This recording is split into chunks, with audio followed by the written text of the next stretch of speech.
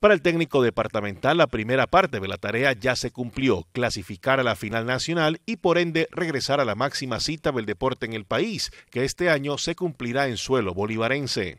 Se ratifica que hay que seguir creyendo en los procesos, que lo que se viene haciendo desde la Liga Santanderiana de Fútbol con los procesos de fútbol femenino eh, se están dando los resultados.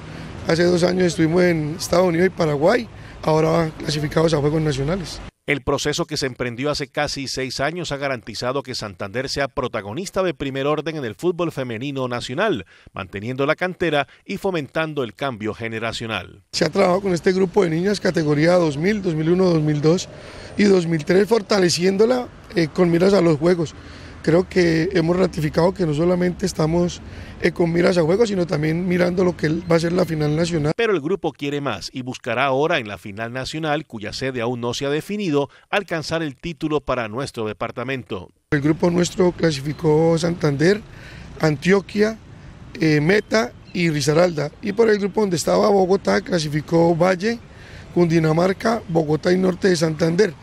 Norte de Santander es el, único equipo que no irá a juegos eh, porque ese es el cupo de Bolívar. El fútbol femenino de Santander sin duda será protagonista de primer orden en la máxima cita del deporte nacional en noviembre próximo en suelo cartagenero.